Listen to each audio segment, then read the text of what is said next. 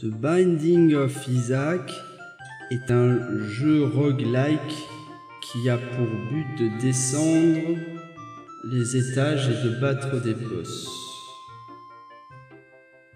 Bon Bonjour tout le monde. Euh, Aujourd'hui, on va s'attaquer à quelque chose d'assez gros. On va s'attaquer au fondement, au fondement du jeu The Binding of Isaac, euh, avec la version Rebirth, After, After- Afterbirth, Afterbirth Plus, euh, qui, qui, qui possède déjà un bon, bon, bon paquet d'informations à retenir. Et déjà, le jeu de base est assez compliqué. Et, et en fait, en vue de quelques petites vidéos qui devraient venir, euh, qui devraient pas tarder à venir sur la chaîne, je me suis dit bon, ce serait intéressant quand même d'expliquer un petit peu aux gens comment euh, comment se passe euh, se passe le jeu parce qu'il est vraiment en, en vrai il est vraiment compliqué. Euh, je suis à plusieurs centaines d'heures de jeu. Donc j'arrive plutôt bien à le maîtriser, mais quand j'étais, quand je l'ai commencé, et même quand j'ai commencé le, le- la, version précédente, je sais pas en 2011, un truc comme ça, eh ben, j'en menais pas large. hein. Donc euh, aujourd'hui, on va un petit peu, on va un petit peu voir euh, tous les aspects techniques et un petit peu les, pas vraiment les astuces, mais vraiment voilà les, fondations même euh, de- du jeu The Binding of Isaac. Et c'est parti. Bon, j'avoue, je sais pas trop par où commencer, donc je pense qu'on va commencer par la base. On va commencer par simplement le, but du jeu. En gros, vous incarnez, vous incarnez un personnage. Vous devez simplement descendre, on va dire, vous frayez un chemin à travers les, salles remplies d'ennemis, euh, collecter des items, descendre plus profond dans, les sous-sols de, la maison d'Isaac et euh, aller euh, battre euh, au choix un un autre boss. Ça dépend en fait de, ça dépend en fait de, votre choix et de votre volonté de battre tel ou tel boss. Déjà dans un premier temps, il y a quelque chose de, très important à retenir à propos de, à propos de ce jeu, c'est qu'il y a une énorme dose de RNG qui va, qui va vous poutrer dès qu'elle le pourra, à savoir qu'il vous faudra beaucoup de chance et que cette chance ne sera pas nécessairement de votre côté. Et, euh, l'idée va être justement de récupérer euh, des items euh, au fur et à mesure des salles pour pouvoir, pour pouvoir devenir de plus en plus puissant, de plus en plus résistant, quitte à, devoir sacrifier euh, certains aspects mécaniques euh, par rapport à d'autres. En fait, vous avez toute une liste de caractéristiques qui se divise en six catégories, j'ai mes petites anti-sèches à côté de moi, euh, à savoir, euh, d'ailleurs c'est pas dans l'ordre mais c'est pas grave, euh, à savoir la vie, la vie c'est, le principal je dirais, mais en même temps ça fait pas tout, hein. Euh, les dommages, les tiers, donc en fait euh, c'est un petit peu, ça correspond un petit peu au DPS, c'est le nombre de, de, de de, projectiles en fait que vous envoyez par, euh, dans, un, dans un temps donné, donc euh, plus votre, votre indice de tiers est, est réduit, et plus c'est intéressant. Euh, ensuite, vous avez la, range, la, la portée, euh, le shot speed qui est aussi assez intéressant et qui, qui va un petit peu de pair avec, euh, avec la portée, euh, à savoir la vitesse de vos projectiles. Il y a également la vitesse, bien sûr, et la vitesse, croyez-moi, si jamais vous en manquez, ça va être quelque chose de terrible parce que, au-delà du fait d'être beaucoup plus vulnérable aux ennemis, en plus, c'est beaucoup plus désagréable à jouer. Et, euh, et enfin, la, luck, la chance. Si vous avez un item par exemple qui, peut euh, empoisonner vos ennemis, plus votre chance, euh, votre indice de, luck sera élevé et plus vous pourrez, plus vous aurez d'occasion de, de- l'empoisonner. Donc voilà, ça c'était pour les caractéristiques.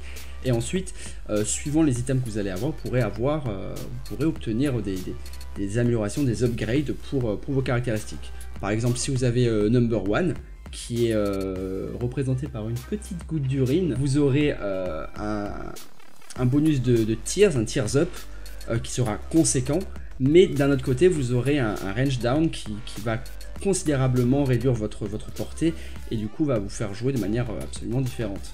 Et, en fait, c'est un petit peu ça le pendant du jeu, c'est que suivant les items que vous avez, les, uns et les autres, c'est la manière dont, dont ils, dont ils synergisent et, euh, et c'est ça qui rend, qui rend vraiment le jeu, le jeu, le jeu absolument fou. Euh, par exemple, vous pouvez, euh, voilà, vous, vous avez un- des larmes normales et d'un coup vous allez obtenir un, un brimstone, qui est un, un brimstone qui est un, tir de laser. Vous allez faire waouh, waouh, waouh. Et du coup, ça rend la chose complètement, complètement fabuleuse et, assez, assez unique en fait. hein. Parce que je l'ai pas encore dit, mais chaque run que vous ferez est absolument unique dans la mesure où il doit y avoir peut-être des milliards de, de, de seeds, de, alors comment traduire ça? De, de parties différentes en fait voilà c'est chaque euh, Il y a une rejouabilité dans le jeu qui vous permet justement de pouvoir, euh, de pouvoir faire chaque partie, que, faire en sorte que chaque partie, chacune de vos parties sera unique. Et, euh, et, du coup, ça se rejoint également avec les items, comme je disais, c'est que vous avez des synergies entre tous les items, et comme vous n'avez pas à chaque fois tous les mêmes items, ce qui est normal, euh, bah, ça va créer des synergies différentes, et vous avez un potentiel de, break sur le jeu absolument fabuleux, parce que vous pouvez vous retrouver avec des, des des one shot, des, des, tiers one shot qui permettent de, voilà, de, tuer instantanément un ennemi, un boss même, et, et, de cela sort une sorte de petite satisfaction personnelle absolument fabuleuse. Donc euh, c'est ça qui est bien dans ce jeu, entre autres choses bien sûr. Donc voilà, je suis pas rentré vraiment dans le détail au niveau des items parce que je me dis que c'est plus intéressant de vous montrer ça en jeu. Euh, mais en dehors de ça, je pourrais également rentrer un peu plus dans le détail au niveau des boss, mais pareil, je pense que c'est plus intéressant de les découvrir. Euh, une chose, euh, intéressante et importante, euh, au-delà des items, vous pouvez également, euh, obtenir des, des consommables, donc à savoir clés, bombes, pièces, runes, cards, cards, c'est dur hein, quand on a le jeu en anglais dans la tête, des pills, des, des pilules, et également des trinkets. Alors pour revenir vite fait dans, tout ce que je viens de citer, euh, l'argent c'est pour vous aider à acheter d'autres euh, euh, items dans, les shops qu'il y a dans, les étages. les bombes pour bomber les murs, mais également pour vous permettre soit de faire des dégâts aux ennemis, soit de trouver les, les secret rooms. Les clés pareil pour ouvrir les shops, pour ouvrir les, les bibliothèques euh, qui vous permettent d'avoir des items, pour dire les, trésors rooms, etc. Il y a les runes, c'est un petit peu plus compliqué, euh, c'est en fait des sortes de petits artefacts euh, utilisables une seule fois qui vous permet d'avoir un, effet pas aléatoire mais un effet précis suivant la rune que vous avez. Par exemple, la rune Gera va vous permettre de multiplier vos soit, soit les coffres que vous trouvez, soit, les, soit vos consommables, soit les trinkets, tout ça. Euh, la rune Berkano va vous permettre d'obtenir des, petites euh, fly, des, mouches et des petites araignées qui, font le double de dommages, donc qui, sont très intéressantes. Et voilà, il y a, pléthore de, runes qui vous permettent d'avoir différents items, différents effets. Et c'est pareil pour les, cartes. Et c'est pareil pour les pills, mais les pills, en fait, euh, il y a encore une fois une part de, RNG là-dedans, dans la mesure où vous ne connaissez pas du tout à l'avance les l'effet d'une pills, et ça change à chaque run.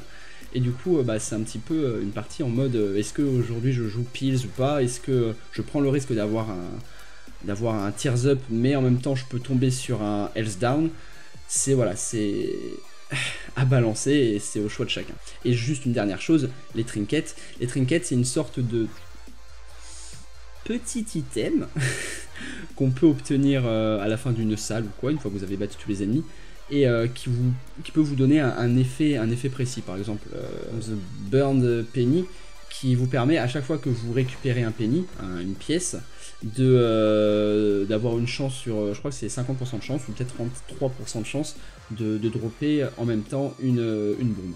Voilà, c'est des petits effets comme ça qui, qui seront pas, qui sont pas vraiment importants dans, dans, le, dans le jeu. Enfin, c'est pas ça qui va vous aider à gagner une run, mais en même temps, euh, disons que voilà, c'est un petit plus qui, qui est pas négligeable. Je reviens vite fait sur euh, l'histoire de on descend les, euh, les, étages. Chaque étage en fait a ses propres particularités. Par exemple, le cellar est rempli d'araignées.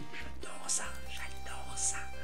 alors que le basement, il y a également le, burning basement qui, qui, est enflammé. Du coup, pour prendre des dégâts de feu assez souvent. Très sympa. Voilà, et le but du jeu c'est d'aller dans un premier temps jusqu'à Mom, donc qui est votre mère, la mère dans le jeu du moins, et euh, qui est le premier gros boss au bout de 2, 4, 6 étages, c'est ça? Euh, ensuite d'aller battre Mom's Earth qui correspond au cœur de votre mère, une fois que vous serez allé dans son vagin ou dans son utérus. Le jeu est assez bizarre, il faut pas croire. Euh, et, après, suivant le, choix que vous avez fait, vous pouvez soit aller dans Sheol, qui, vous permettra d'aller battre Satan, soit aller dans le cathédral, qui vous permettra d'aller battre Isaac. C'est pas vraiment un spoil, hein oh. euh, et, encore une fois après, vous avez soit The Chest, soit, je me souviens plus comment s'appelle, euh, The Dark Chest, je crois que c'est ça. Où là c'est des, des, floors, des, étages assez sympas qui vous permettent de récolter beaucoup d'items, mais où, vous avez genre des boss dans chaque, dans chaque, room, et du coup ça devient beaucoup plus compliqué. Mais normalement à ce, à niveau-là du jeu, vous avez un stuff relativement important pour pouvoir supporter ce genre de choses. Mais encore une fois, ça dépend beaucoup de la RNG. Dernière chose que j'ai pas dite en parlant un petit peu des items, certains items, suivant le, nombre euh, d'items d'une même famille que vous collectez, peuvent vous octroyer euh, des, des, transformations. Par exemple, si jamais vous obtenez trois seringues différentes, vous aurez la transformation appelée euh, Spoon, qui, va vous donner un, boost de dommages absolument conséquent euh, et, du coup qui est pas négligeable. Hein. Ce dont je n'ai pas dit aussi, c'est que à la fin de chaque boss, euh, suivant les dégâts que vous avez pris sur l'étage et suivant l'étage auquel vous êtes également, vous, avez une chance euh, d'obtenir un, Devil Deal ou un, Devil Deal en fait qui vous permet voilà, de troquer votre vie contre des, réceptacles de cœur, contre des items en général qui sont assez, assez intéressants, assez, assez puissants. Euh, et à contrario, si jamais vous refusez entre guillemets les, euh, les Devil Deal, vous, avez, vous pouvez obtenir des Angel Room qui en fait sont en totale contradiction, qui possèdent également de très très bons items, un peu plus rares et beaucoup plus difficiles à obtenir. Et, euh, et du coup, voilà, qui vous octroient des petits items intéressants en plus suivant certaines conditions. Donc c'est toujours important, c'est toujours intéressant d'aller soit voilà vers les Angel Room, soit vers les, les Devil Deal. La seule chose dont j'ai pas encore parlé, c'est les, styles de jeu. Euh, vous avez soit euh, le, mode normal, c'est-à-dire faire une run, descendre les, les, floors les uns après les autres pour euh, aller battre Isaac, mettons. Soit vous avez voilà, le, mode normal, le mode hard qui, par exemple, où il y, a, des ennemis plus durs, vous avez moins de vie, etc. Enfin bon, tout un bordel. soit vous avez le grid mode qui ressemble un petit peu, mais vous avez juste une immense salle euh, vous avez des vagues d'ennemis, un petit peu comme le mode zombie de Call of, j'en sais rien du tout. Euh, et, vous devez du coup battre toutes les vagues, obtenir des pièces. Avec les pièces, vous créez votre propre stuff et descendre encore des étages parce que c'est toujours comme ça que ça fonctionne. Et euh, jusqu'au dernier étage, vous devez battre Grid, euh, qui est un boss relativement compliqué à, compliqué à battre. Euh, et également le, je crois que c'est Hard Green Mode ou un truc comme ça, qui c'est exactement le même style, le même, le même mode de jeu, mais en plus difficile, donc plus intéressant. Et à côté de ça, il y a également les, les, les, challenges. qui, sont assez intéressants, c'est marrant, qui permettent de débloquer des, des items, entre autres choses. Et euh, en dehors de ça, qui vous met en scène avec des, contraintes de jeu, des contraintes de gameplay. Par exemple, il y en a un, c'est Solar System. Vous pouvez pas tirer de, projectiles, mais par contre, vous avez trois mouches qui gravitent autour de vous et il faut faire des dégâts aux ennemis juste comme ça. Donc c'est parfois très très compliqué. Parfois c'est simple, mais c'est on va dire un gameplay vraiment sympa. Euh, par exemple, euh, Glass Cannon, je crois, un truc comme ça. Euh, où vous avez Epic Fetus qui balance des bombes, enfin un truc vraiment cool. Et, du coup voilà. Et la toute dernière chose, ajout, euh, venu avec le, DLC Afterbirth Plus, c'est euh, l'ajout de mode, ou du moins la simplification d'ajout de, mode euh, pour, pour le jeu. du coup, il y a, tout un, Steam Workshop rempli de modes sympas. certains sont sympas, certains sont un peu moins sympas, un peu plus voilà, marginaux, on va dire. et du coup, qui rendent le jeu vraiment, vraiment plus intéressant. Non pas que le jeu soit pas intéressant, absolument pas.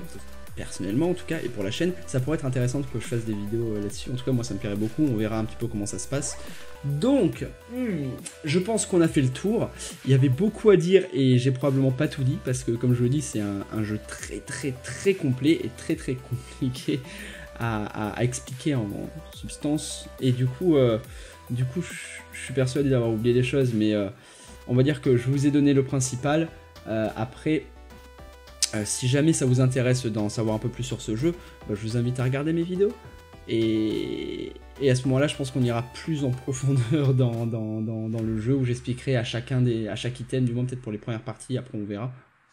Euh, les items et un petit peu les effets qu'ils peuvent avoir, les synergies qu'ils peuvent avoir avec les items qu'on a, les, les, boss, etc. Enfin bon, tout, on va dire, le, lore du, jeu en fait.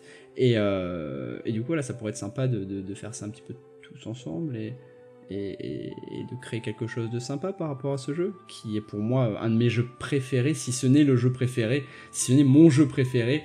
Bah, Papa Ta gueule. Et, euh, euh, et, du coup, je, suis je serais content de partager quelque chose comme ça avec vous. C'est voilà, un jeu que j'ai pensé de long en large, en long en large et en travers. Et bah, maintenant que j'ai acquis un petit skill là-dessus, euh, bah, autant vous, en faire profiter déjà pour vous apprendre un petit peu le jeu, vous donner envie peut-être d'y jouer vous-même et, euh, pourquoi pas créer quelque chose hein, par, rapport à, du scoring, pourquoi pas, ou plus par rapport à des expériences, euh, ça pourrait être sympa. Donc écoutez, je vous dis à la prochaine fois, merci d'avoir regardé cette vidéo, j'espère que ça vous aura plu, enfin autant que moi j'ai pris plaisir à la faire, et, et d'ici là, bah, portez-vous bien. Ciao